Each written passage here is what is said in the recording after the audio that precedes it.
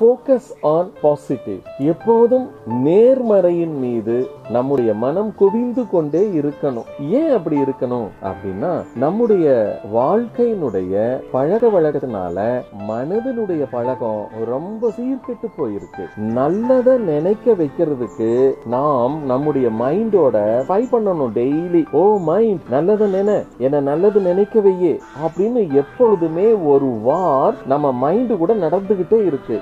அதில் ஜெயிக்கிறவங்க பாசிட்டிவாக நல்லவங்களாயிடுறாங்க. அதில் தோக்கிறவங்க நெகட்டிவாக எப்பொழுதுமே தவறானவர்களாக இருக்காங்க. அப்போ இப்போ தேவையானது நமக்கு என்னன்னா ஃபோக்கஸ் ஆன் பாசிட்டிவ்ஸ் எது எது எல்லாம் நேர்மறையான செய்திகளோ விஷயங்களோ எண்ணங்களோ பேச்சுக்களோ செயல்களோ அவைகளின் மீது எப்பொழுதுமே நாம் ஃபோக்கஸாக இருந்தோம்னா நிச்சயமாக நாம் பாசிட்டிவான மனமுள்ள மனிதனாக மாற முடியும். நம்ம வாழ்க்கையும் ரொம்ப பாசிட்டிவாக இருக்கும்.